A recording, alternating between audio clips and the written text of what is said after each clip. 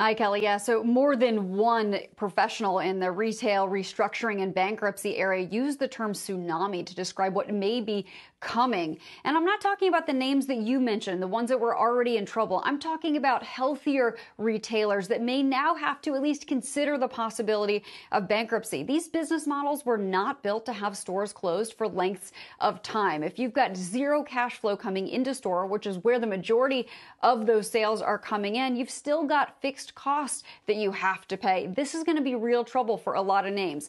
Yes, names like Dick's Sporting Goods, American Eagle Outfitter said they saw an acceleration online when stores closed, but they warned that that could be short lived. And it's all leaving retailers to figure out truly how much longer they can last with the stores closed. And when they open, no one really knows how shoppers will react and if they'll feel comfortable coming back in. So bankruptcy lawyers, advisors, bankers, they're all fielding calls, but they say it's not ideal to file now. Doing so starts the bankruptcy clock running. And also the best way to pay creditors quickly is by having those liquidation sales at the stores that are going to close. And if the stores are already closed, you can't very well have those sales. So they are thinking that once the economy gets back up and running, you're going to see a rush of retailers filing for bankruptcy. You want to be among the first to have those liquidation sales too. Back over you, Kelly.